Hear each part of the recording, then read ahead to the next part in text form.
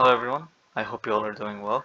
Today we'll be beginning with uh, the very beginning of CIE A-Level Chemistry, code 9701. And the name of the lesson is Atomic Structure. Today we'll just be covering the very basics of atomic structure, uh, a small recap of what you did in IGCSE, uh, an introduction to orbitals and the filling of orbitals, right? So this is the electron, no, not the electron, sorry, the atom, the atom that you've been introduced to during your IGCSE years. This model, if I'm not mistaken, is called the Bohr model, where uh, there's a central nucleus, which has majority of the mass, and it has protons and neutrons. Protons positively charged and neutrons have no charge, relatively and uh, this is orbited by electrons in their respective shells and this is the first shell this is the second shell and so on now this model is for simplicity and it is used in IGCSE however in A levels we use a slightly more complex a more accurate model of the electrons orbiting the nucleus. Uh, and there is more accurate models available and more details as well but we'll just be covering what uh, the syllabus requires you to cover okay? So unlike the electrons in actuality don't uh, just orbit the nucleus in shells right? Not like they're not bound to this trajectory. They inhibit they inhabit orbitals and these are regions where electrons can occur. Uh, and if you want a more like like uh, a visual representation of it you can check out a video of how an electron occupies an orbital. And there's three orbitals that you need to know of uh, s p d and there's also an f orbital but that's re that really that like it appears in your syllabus. Anyway uh, electrons occupy via energy levels. Now let's I'll I'll just uh, make it a bit easier. Let's so when you're writing for for for example okay uh, this is helium right? In the in your IGCSE years what you used to write its electron configuration is 2 right as in there's two electrons that occupies the like the shell the first shell right and it's a noble gas uh, another example would be um, fluorine, right? So fluorine has nine electrons. And how would you write nine in its electron configuration in the IGCSE? You'd write it as curly bracket two, and then there's seven other electrons, right? Now this is acceptable in IGCSE, but in A levels we prefer to write it in terms of orbitals. Orbitals, this is the word and uh, I'll get to filling the orbitals later but for now just accept that there's something called orbitals and in, in in this case what you would write how you'd express this in terms of orbitals would be 1s2 2s2 uh, uh, pardon 2s2 and 2p5 right so there's two electrons two electrons that's four and plus five that's nine electrons in total right now I'll get to how this works, okay? Well, before that, I'll just tell you, I'll label it for you. So for instance, there's 2p5, right? This is the principal quantum shell. Quantum shell. And what I mean by principal quantum shell is, is for instance, this is fluorine, right? This is the first shell and this is the second shell, right? So you see that this electron that we're trying to describe here, it would be in the second shell. So this is the second principal quantum shell is the same as this, the second, okay? This P is the subshell, the subshell. So even within the principal quantum shells, there's other things known as the subshells. And the orbital is like which like which variant of the subshell it occupies and in P there's Px, Py, and Pz. We'll get into that in a bit, but just accept this for now, that this is the principal quantum shell number and this is the subshell, okay? Now, this is how the filling works, okay? There's rules to, no, wait, before going on to filling, let's, um, think about uh, the energy levels okay? This is energy levels okay?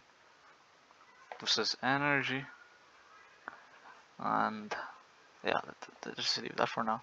So the lowest energy level is 1 right? Obviously 1 and s. The second lowest is 2s the third will be 2p and then you'll move on to 3s and then 3p okay and so on. There's an exception here but we'll get into that in a bit. And each orbital can occupy can have two electrons a pair of electrons pair of electrons. And this is very important. As electrons they normally exist in pairs. And to denote an electron well electrons have spin. So one like if there's this is an electron okay? It'll spin either in this direction or it'll spin in this direction okay? Uh, and it's known as like a positive or a negative spin. And each like electrons that have opposite spins occupy one orbital. So this has the spin one direction this is the other direction spin or this can also be denoted as this.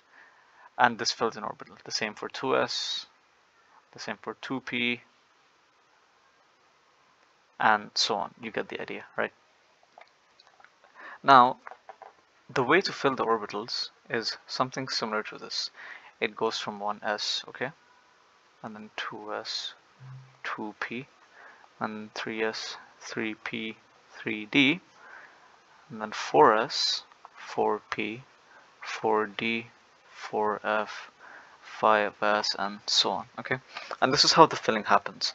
From the after the first after 1s is filled with electrons it goes to 2s after 2s is filled it goes to 2p after 2s is filled uh, 2p is filled it goes to 3s after 3p is filled it goes to 3p after 3p is filled it does not go to 3d but instead it goes to 4s and that is uh, like a unique case.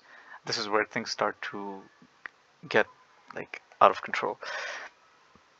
And from 4s it goes to 3d then 3d to 5 3d to 4p and then from 4p to 4d if I'm not mistaken.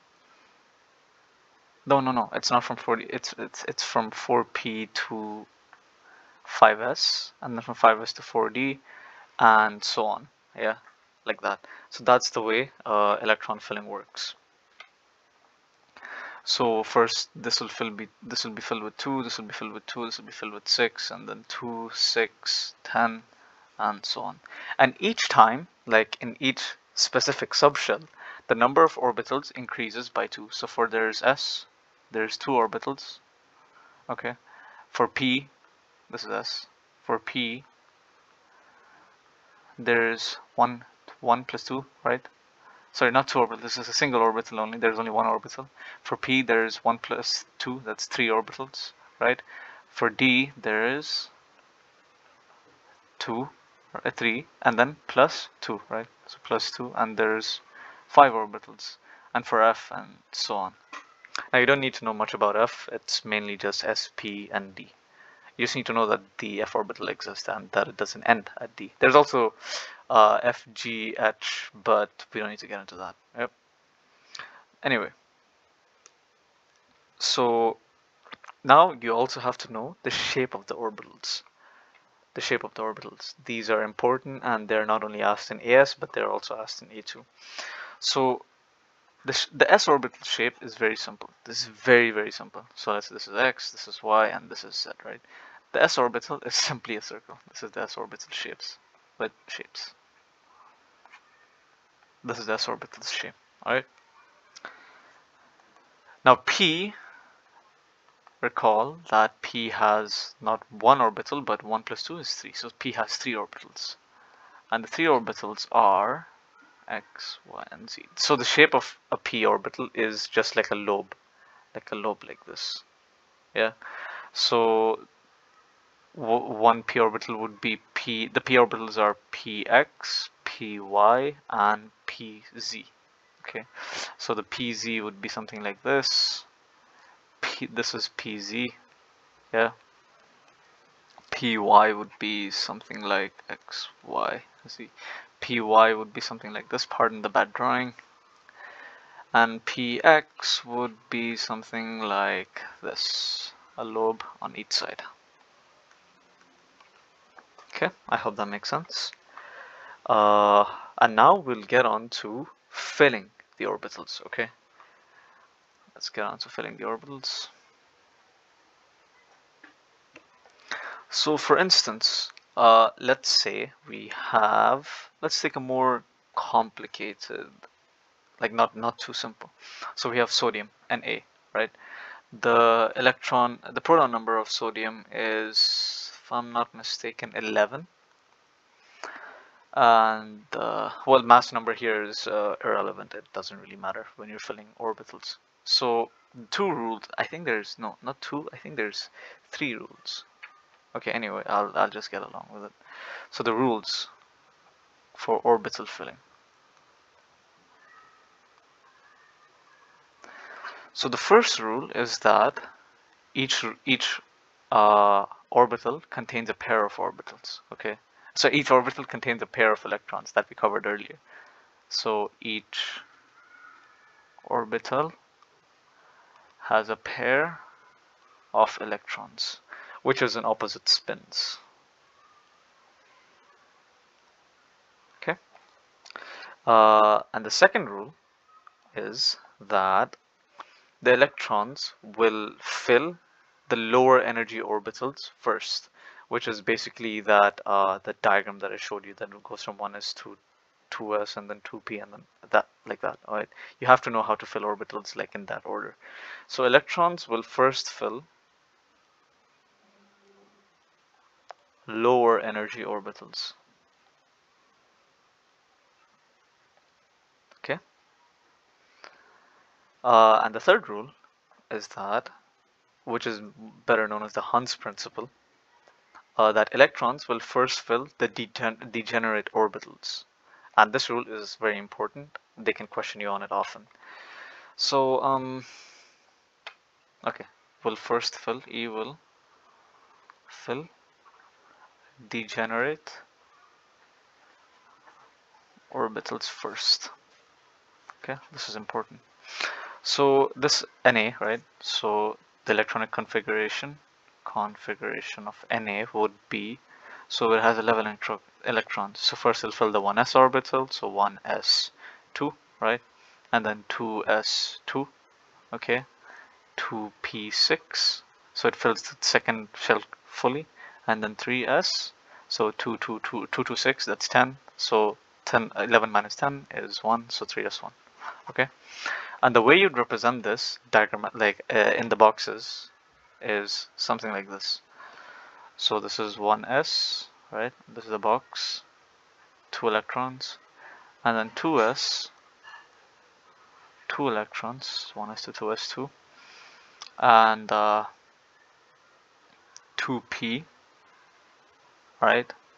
2p in this case it's 6, so like this, and then 3s, just a single electron right? Now what do I mean by this third rule okay? So for this I have to take uh, uh, an example that has like an incomplete p subshell so a correct example would be hmm, okay let's say nitrogen all right nitrogen has seven electrons it has a 14 mass number but that is irrelevant so yeah, the electronic configuration would be 1s2, 2s2, so that's 4, 7 minus 4 is 3, so 2p3, right? So how would you represent this diagrammatically? So there's 1s2, and then there's 2s2, and then there is 2p3, right? And uh, you'd think normally that you can fill this in either way, like you can fill it like this, or uh, that you can fill it like this or something of the sort but if you fill it the second way which is like this you'd be wrong. And that is because of the third rule, the Hund's principle, that electrons will first fill the degenerate orbitals. By degenerate, I mean the ones that are empty. Okay, so when electrons are spinning in a pair, the reason for this is that when electrons are spinning in a pair, like oppositely pair, uh, electrons recall that they're negatively charged. So before electrons filling the same orbitals where they face repulsion against each other, they'll first fill where there's least resistance, i.e. another orbital. Okay, so in this case, it would be like this, like this, and like this. So first fill the empty orbitals. Uh, another example, let's say oxygen. So there's 8, we have 1s2, right? 1s2, 2s2, 2p4. That's 1s. And then there's 2s. And then there's 2p, right? So you have to first fill the degenerate orbitals one by one and there's four electrons, right? Now you're allowed to like put the second electron, the oppositely charged, the opposite spin electron in any of the orbitals. So like this, okay? Or you could put it here. It doesn't make a difference. It's pretty much the same. Or you could put it here. It doesn't make a difference. But it's generally preferred to put it in the first, like from left to right, yeah? And that's the rule of electron orbital filling. Uh, that is all for the new chemist, like new the introduction to the basics of atomic structure. Uh, in the next video, we'll be covering uh, the ionization energies and the factors that impact them. If you have any doubts, please do leave them in the comment section below.